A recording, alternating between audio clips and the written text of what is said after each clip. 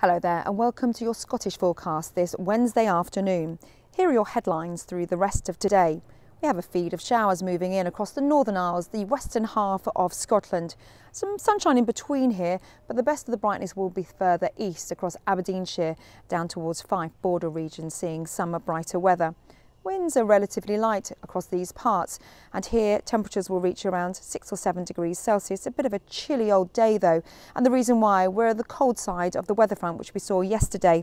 A ridge of high pressure as we head through tonight resulting in some dense fog patches which will be slow to clear through Thursday. However through Thursday night into Friday we have more cloud which will come in from the north as well as the west bringing with it some patchy rain and so I think we'll see some patchy fog through Thursday night towards the south but not the extensive fog we're likely to see tonight. So overnight tonight, showers continue, particularly across coastal districts across the north, northeast, northwest. Further south, though, as you can see, across more inland areas, it's dry, clear skies, and that will allow the fog to form, which will be dense in places. And again, a widespread frost, temperatures dipping as low as minus five degrees Celsius in places.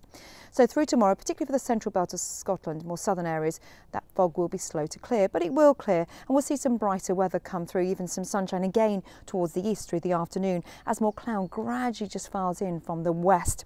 A mostly dry day wherever you are, but temperatures will struggle.